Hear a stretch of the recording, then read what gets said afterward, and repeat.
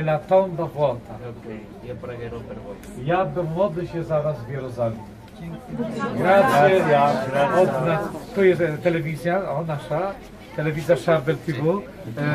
Ojciec z, Ekwadoru, z Custodii, la Custodia, dice Custodia de, di Terra Santa a Ecuador. Noi por- stiamo portando le reliquie dei santi oggi, la processione, e tra cui c'è una santa ecuadoriana che io conoscevo, ma non mi aspettavo che proprio qui, in quel momento, incontrerò un ecuadoriano. E, Wiecie, różne relikwie będziemy nieśli. Tak, miałem też moją relikwię, którą znam, e, którą czczę, świętą Narcyzę Nobol i nie myślałem, że, że gdy przyjdziemy na mszę świętą, spotkamy księdza z Ekwadoru. Zobaczcie, jak, jak to górę tym wszystkim kieruje.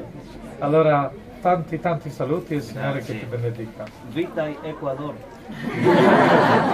Ok, grazie.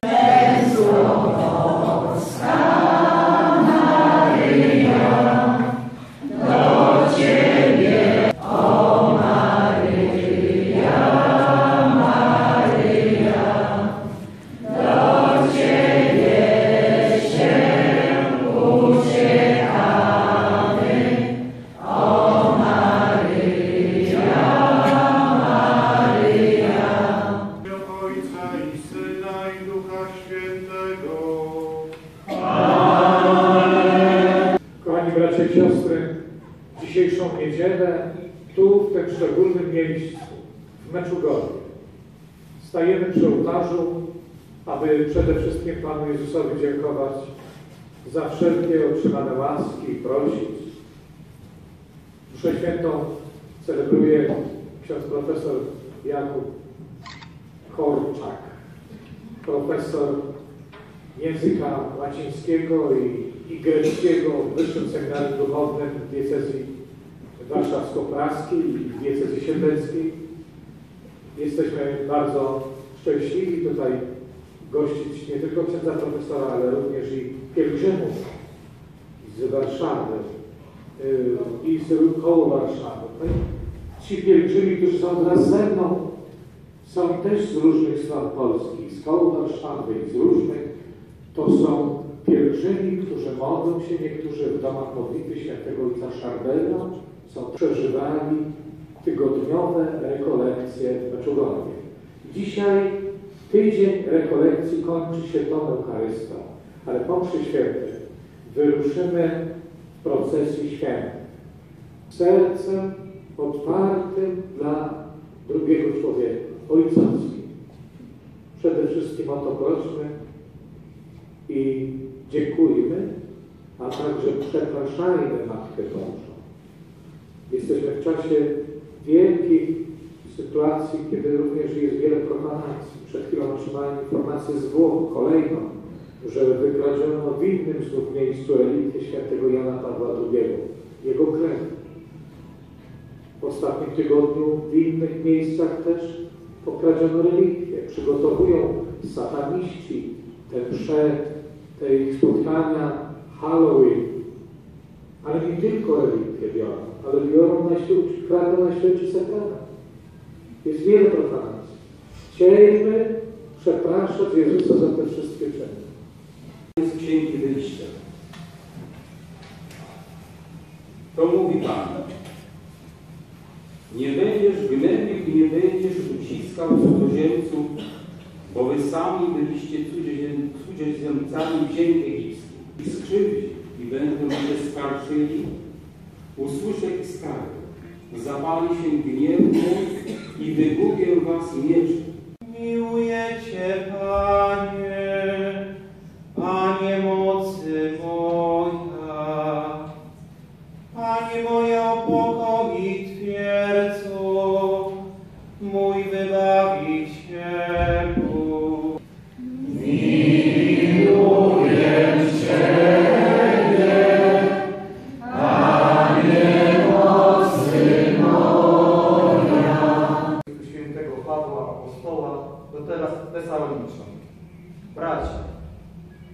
Wiecie, jacy byliśmy dla was, przebywając pośród was, a wy, przyjmując słowo pośród wielkiego ucisku, radością Ducha Świętego, staliście się naśladowcami naszymi i Pana, by okazać się w ten sposób wzorem dla wszystkich wierzących w Macedonii. Będzie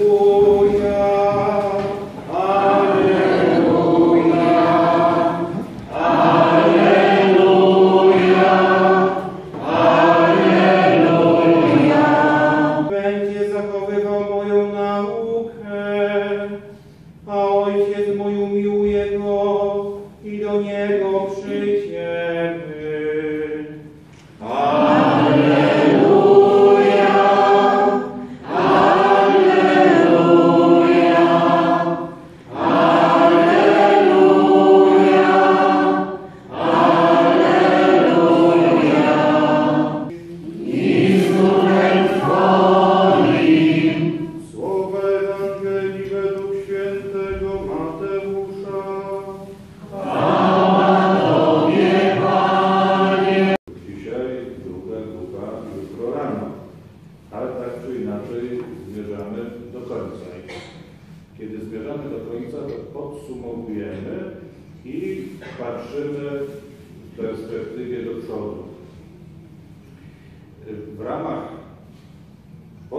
podsumowywania i patrzenia do przodu podejmujemy jakieś postanowienia.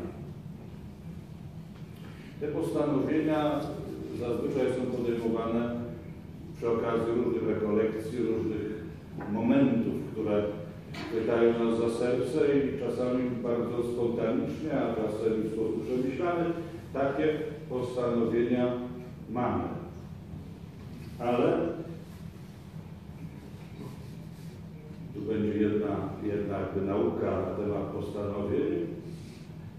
Z postanowieniami jest tak, że większość postanowień nie udaje się zrealizować. E, I to jest, to jest nasze doświadczenie. My mamy wciąż taką nadzieję, kiedy jesteśmy w emocjach pełni zapału, że od dzisiaj to będzie wszystko wspaniale i mamy i takie postanowienie, i takie postanowienie, i takie postanowienie. A tymczasem okazuje się, że nie możemy temu sprostać. I dlaczego nie możemy sprostać? Nie możemy sprostać w pierwszej kolejności. Ja to czasem powtarzam, być może moi parafianie to słyszeli, ale są inne osoby. Nie możemy sprostać przede wszystkim dlatego, nie, nie tylko dlatego, że jesteśmy grzesznikami, ale nie możemy sprostać dlatego, że nasze postanowienia są, są po prostu złe. I Pan Jezus w swoim miłosierdziu uniemożliwia nam realizację naszych postanowień. I jestem głęboko przekonany, że to jest główny powód tego, że nam te postanowienia z takim zapałem powzięte niejednokrotnie, czy na rekolekcjach, czy właśnie w czasie takiego pobytu, że nam się nie udaje go zrealizować. Chciałem Ci wysłuchać prośby, które kierujemy do Ciebie przez Chrystusa Pana naszego. Górę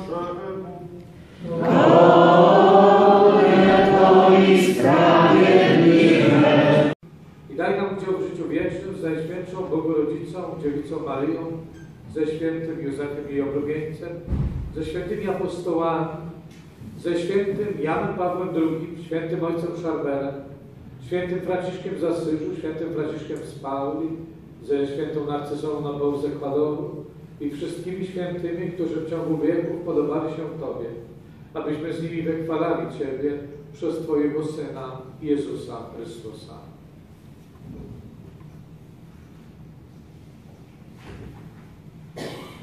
Bez Chrystusa, z Chrystusem i w Chrystusie, Tobie Boże Ojcze Wszechmogący, w jedności Ducha Świętego, wszelka cześć i chwała przez wszystkie wieki wieków.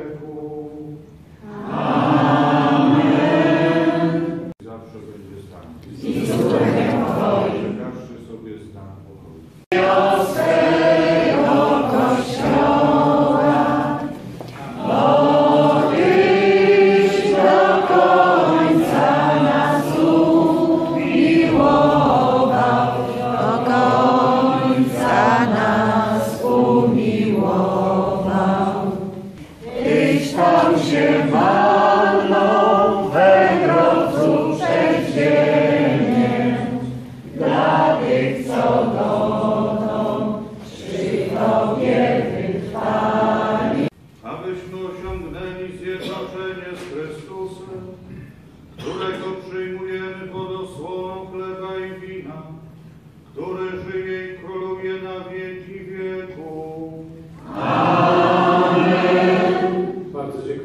profesorowi za słowo i Eucharystię, a jednocześnie zapraszam wszystkich, tak jak mówiłem na początku, wziąć udział w tej procesji.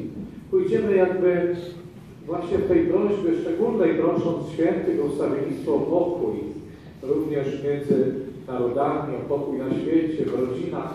Prośmy wstawiennictwo Matka Boża pójdzie na czele tego korowodu świętych.